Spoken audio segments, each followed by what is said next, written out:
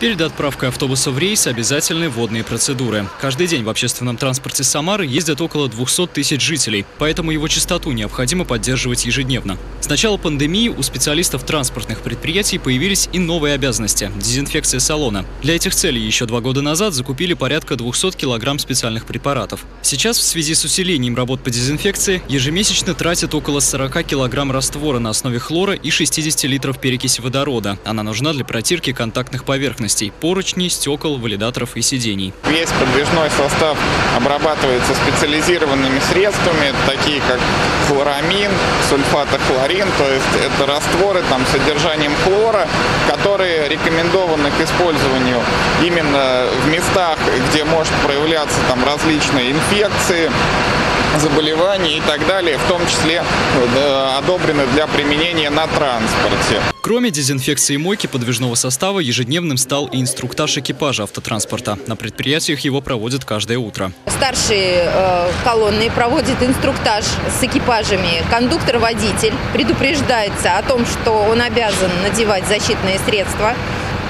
во время поездки и не, не снимать ее до момента заезда в автопарк. Говорят в том числе и о необходимости вакцинации. На предприятиях продолжается прививочная кампания. Так, на сегодняшний день вакцинированы более 70% сотрудников трамвайно-троллейбусного управления и порядка 60% штата на предприятии, которые занимаются автобусными перевозками.